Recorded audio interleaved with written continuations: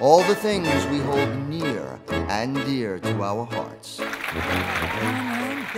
Hitting the Civic Center music stage this week, Chicago, which begins its run tonight, runs through Sunday. It stars John O'Hurley. You'll remember him from Seinfeld and various other TV shows such as Dancing with the Stars and even Family Feud. Had a chance to talk with TV star after he addressed those in attendance here today seventh most interesting man in the world. John, break that down for us. This implies perhaps that there's a top five list. Well, as the seventh most interesting man in the world, I realize that uh, there's only six people that are having a better day than I am. Of course, that's from his Twitter accounts. It seems it's so easy just to have snarky comments these days, but you're actually saying, hey, hey, thanks for your comment. Thanks for having us out here in Chicago or, or wherever.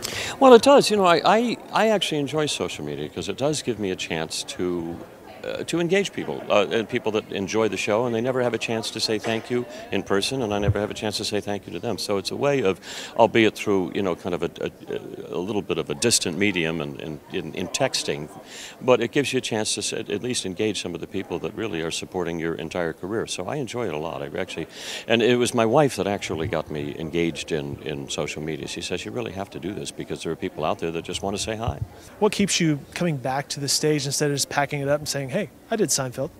No, I, I, you know, for me, it's I, I just I enjoy the different aspects of my life. I live, I live literally by my imagination. Whatever my imagination tells me to do, those little pictures in my mind, the daydreams that I have, I always, I always follow that because I've always, uh, I always believe that that's what I'm supposed to be doing, that I'm being led in the direction. So I don't listen to my mind, I listen to my uh, imagination. And uh, it's always, it's never steered me wrong. John O'Hurley in town for Chicago at the Civic Center all this week. You mentioned beforehand uh, you're very pleased with the cast. Uh, talk about your castmates. Yeah, we do. We started this tour um, up in the Pacific Northwest in uh, the 1st of uh, September. Uh, we're on about our 13th city right now. We've got about 20 in total to do this year. And it's just I, I, think this is easily the best uh, touring cast that I've had, and I and I'll say that because and, and, and say that and then regret saying it because I'll have to leave it. We'll have to put it all down at some point. Uh, but uh, it's been just a remarkable group of, of, of, kids who really get the Fosse style and really have understood the, the wonderful piece that Kander and Ebb have written. I think this is easily the best music and the best um, choreography that, uh, that um, this show has ever had. He's got the looks, he's got the voice, he's the seventh most interesting man in the world. John O'Hurley, thank you for your time. Appreciate Great it. Great to be with you, you bet.